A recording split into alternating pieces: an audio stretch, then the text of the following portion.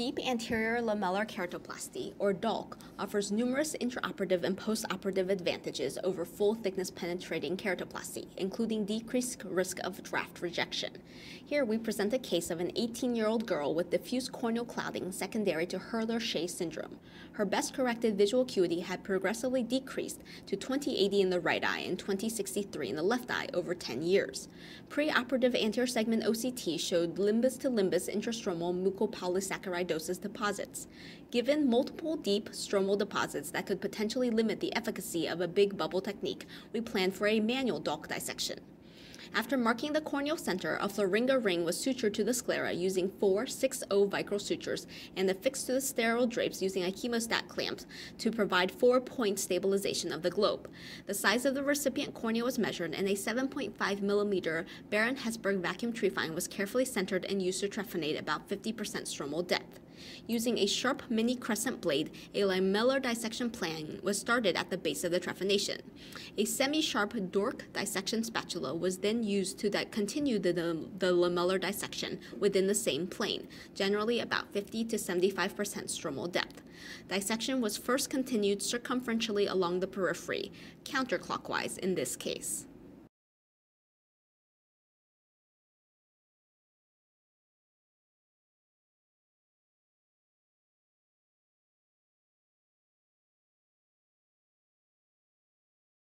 Guarded tan DALK scissors were used to cleanly cut the dissected tissue flush along the trephinated rim.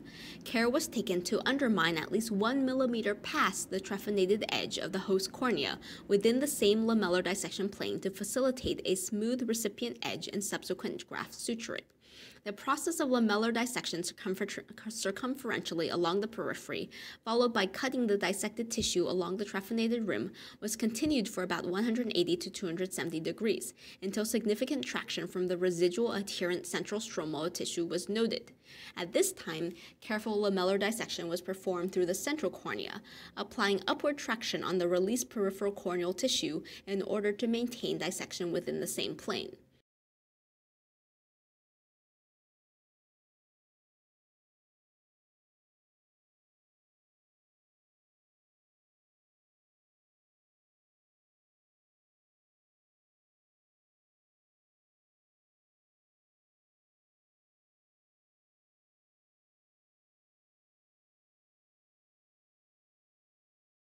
The stromal cap was then cut flush along the trephinated rim once the central stromal dissection was complete and the peripheral edge was freed.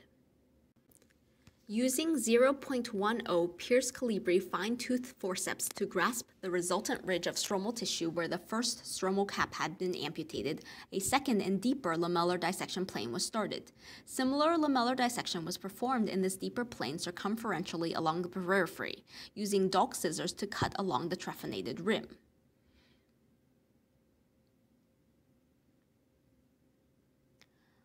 Once enough of the peripheral stromal tissue had been released, the remaining stroma could be peeled gently across the central cornea in this deeper plane. Any highly adherent areas of deep stromal scarring or deposits that did not peel easily could be dissected off using the sharp mini crescent blade in order to prevent excess tractional force to the residual posterior stromal lamellae, in order to prevent Descemet membrane rupture. The residual stromal cap was then amputated flush along the trephinated rim. Intraoperative anterior segment OCT was used to confirm a residual hydrated stromal bed of less than 100 microns. After trephinating a 7.75 mm donor corneal button and removing the Descemet membrane and endothelium, the graft was sutured into position using interrupted 10 nylon sutures. Care was taken to ensure good graft-host junction apposition with no graft override. A bandage contact lens was placed and the postoperative day 1 anterior segment OCT confirms the flat graft profile due to manual compaction of the posterior lamella. This case illustrates a manual DALK technique using a spiraling layer by layer lamellar dissection in order to limit risk of perforation while achieving adequate dissection depth.